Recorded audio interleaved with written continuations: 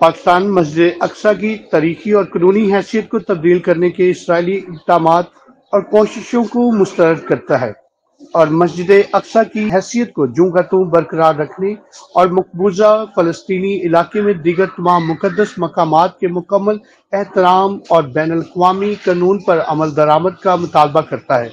पाकिस्तानी मंदूब मनीर अकरम ने कहा कि इसराइली कब्जा बरकरार रहने से फलस्तनी सरजमीन पर अमन नहीं आएगा, चाहे वो इसराइल के हाथों बेदखल हो जाएँ। फलस्तीनियों की हर आने वाली नस्ल अपनी आज़ादी और बुनियादी हकूक, हक खुद इरादियत के असूल के लिए जदोजहद जारी रखेगी। पाकिस्तान मस्जिद अक्सा की तारीखी और कानूनी हैसियत को तब्दील करने के इसराइली इकदाम और कोशिशों को मुस्तरद करता है।